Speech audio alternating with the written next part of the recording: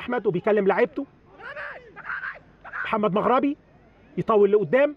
حلوة. ممكن خرج غلط. الحارس خطيره ممكن غريب. ممكن غريب. خطير. جول جول جول. علي عمرو هو اللي يسجل وأحمد سيد غريب بغرابة. أول مرة تيجي في القايم إنما أول أهداف فريق 2001 مع الدقيقة 18 هنشوف الحدوتة من أولها هجمة النادي الأهلي اللي بدأها جلال أحمد بدماغه بعد ما لمح كده الحارس في تحرك برضه غريب جدا ليه علي عادل اللي قلنا عامل مباراة طيبة وأحمد سيد غريب أول مرة يحطها في القايم من اللقاء اللي فات أحمد سيد غريب لما لعب اللقاء الودي عنده كده سوء توفيق إنما تحركات إيجابية ليه وكان وصل بيها بمجهود فردي شق طريقه ودخل منطقة جزاء عمرو زعفان وأحمد حاتم. تاني ملعوبة من عند جلال جلال لمحمد رضا. على شماله يظبطها يلعبها. انما عمرو عادل تقع الكورة تترد تاني إلى محمد أشرف. عرضية خطيرة. الجون الثاني جول جول جول. أحمد سيد غريب يعوض الكره اللي جت في القايم وتتعمل له عرضية بلسم عن طريق محمد أشرف. ثنائية أهلاوية في 25 دقيقة. آدي بداية الهجمة وبداية اللعبة. عملها برجله الشمال محمد رضا يطلعها الحارس على جنب. علي عادل لغاية ما توصل للناحية العكسية لمحمد أشرف اللي بيشيل عرضيه مفيش أحلى من كده وبدماغه مستنيها على القايم البعيد. أحمد سيد غريب عشان يسجل أول أهدافه في الموسم الحالي وتاني أهداف النادي الأهلي في مواجهة اليوم.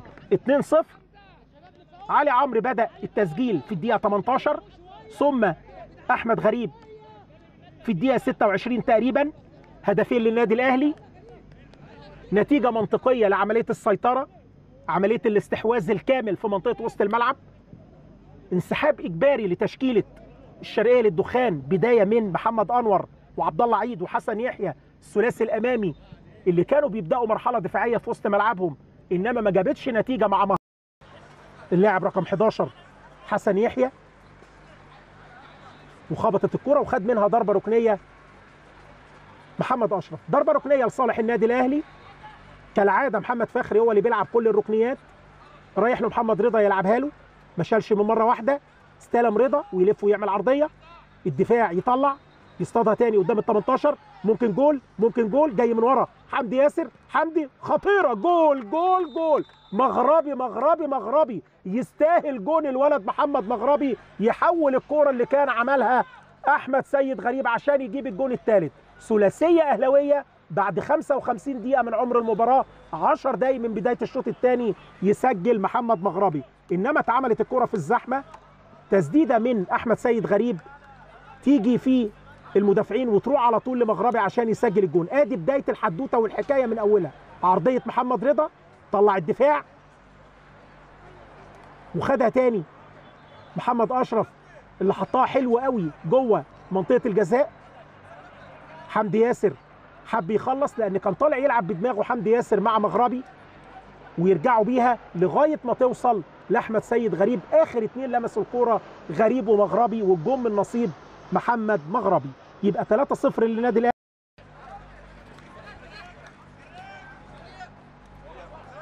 وأنا بتكلم على أحمد غريب. هيبقى كمان معدله التهديفي كبير قوي. أدي أحمد سيد غريب. ممكن يعلقها من فوقيه. يا ولد يا لعيب. الفكرة حلوة. جول جول جول. يا ولد يا لعيب بتاع الصعب كله يضيع السهل ويجيب الصعب. أحمد سيد غريب لسه بتكلم عليه. بقول لو أحمد سيد غريب ركز في كل الكور اللي بتجيله هيبقى معدله التهديفي عالي جدا. جايب النهارده هوت الراجل. هدفين هدف في الدقيقة 26 وهدف في الدقيقة 66 حطها حلو وعلقها. لعبتها معاه أدي الكرة أهي. شالها كده وعمل له تشيب حلو قوي أحمد أشرف لاعب الوسط وهو كمان يشيلها من فوق الحارس. علي عادل عشان يسجل رابع أهداف النادي الأهلي في لقاء اليوم. يبقى أربع يوصل ليه الفريق الأول إن شاء الله. على مهله خالص. جاي محمد أشرف من الطرف الشمال عشان يلعب الضربة الركنية. ومن المناطق الدفاعية بيزيد محمد مغربي وحمدي ياسر قلبي الدفاع عشان يلعبوا بدماغهم. ادي الاثنين اللي بتكلم عليهم والضربة الركنية موجودة تتلعب على ايمن قريب إنما يشيلها المرة دي محمد ميدو يستقبلها فخري ويرجعها تاني. ليه محمد أشرف بيعدل على شماله؟ يلفها. يا ولد يا لعيب. يا ولد يا ولد يا ولد. خماسية أهلاوية الهدف اللي بيسجله محمد أشرف عشان يكافئ نفسه النهارده بعد المجهود الكبير اللي عمله. بيعمل واحدة من الزاوية البعيدة هناك من آخر الدنيا يعلقها للحارس علي عادل. 5-0 للنادي الأهلي. عن طريق المرة دي بقى محمد أشرف الباك الشمال عملها حلو قوي. ادي لعبة فخري اللي سندها وقلت بيعدل على شماله. محمد أشرف عاملها في المرمى قاصد على فكرة. واحد يقول لك هو كان بيشيل عرضية؟ لا الراجل عاملها في المرمى. حب كده يشيلها من تحت العارضه إنما هدف خامس للنادي الأهلي.